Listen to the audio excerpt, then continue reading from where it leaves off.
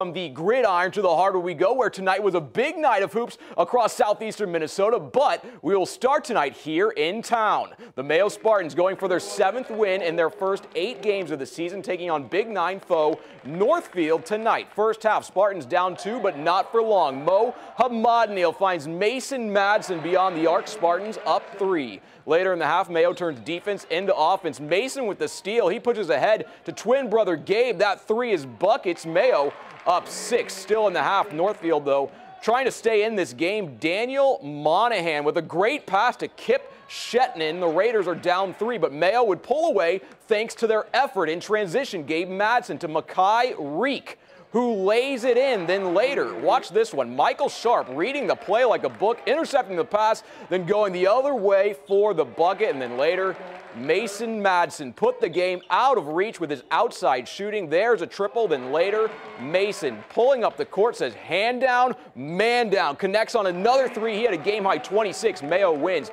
85 54. Up north on the shores of the Mississippi, the Century Panthers looking for win number six on the season, taking on two and six Red Wings. Second half, Century up 11, but looking to extend their lead. Great pass, Jack Fisher to Stephen Olander. Century up 14. Later, Century now up 20, but the Wingers cut into the deficit. It's Denville Atkinson with the steal. He also ends up getting the bucket. Wingers now down 18. Still in the second, Century up 21. Watch number five. His name, Gabe Hansen beats his man, puts up the floater. That's good. Panthers up 23. Then later, Jack Fisher puts the final nail in the coffin off the turnover. Watch this.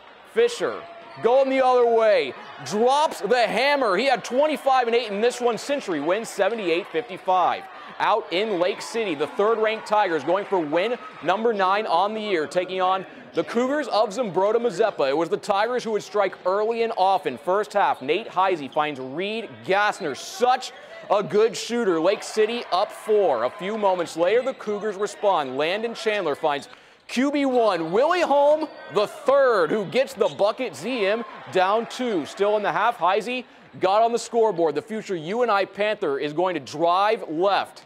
He lays it in with his offhand. Lake City now up five. But the Cougs would stick around in this one. Check out big Anthony Silkowski here. He's a great golfer. He can also fill the bucket off the glass. ZM down two, but Lake City was too much for ZM in the end. Gassner to Heisey.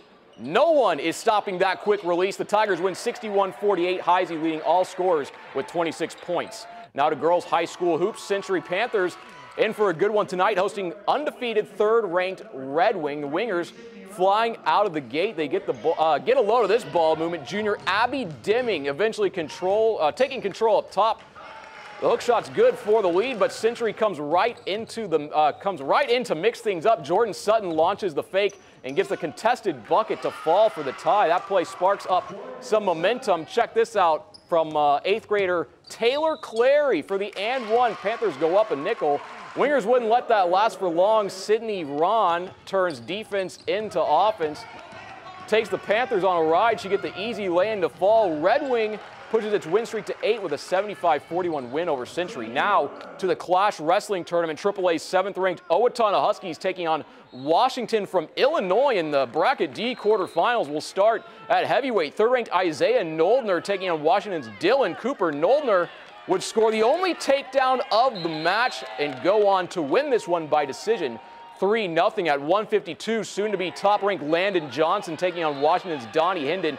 Johnson dominated this match from start to finish, picking up the pin for the win. Now down to 138. Owatonna's Jacob Renardi taking on Washington's Zeke Hewlett. This was a tough match, but in the end, it was Hewlett that picked up the win by decision. Next, we're going to head back up to 160. Owatonna's Caden Nelson was in and out of the top 10 last year, taking on Jake Solberger. It will be Solberger picking up the win, but Owatonna advances to the semis with a 31-25 win.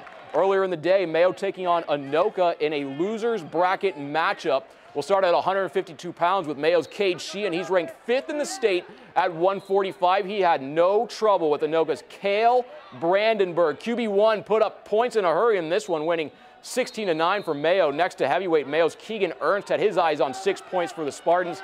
Second period, he'd win by fall over Tyler Nebelung from Anoka, but at 106, Calder Sheehan's wrestling Anoka's Ali Altringer. The younger Sheehan picked up the points with ease. In this match, he'd win by tech fall for Mayo to get the win. Then at 120, here he comes. Rick Kobayashi taking on Logan's, or Anoka's Logan Miles. The Mayo Spartan would get the pin for the win, but in the end, Anoka beat Mayo 43-29.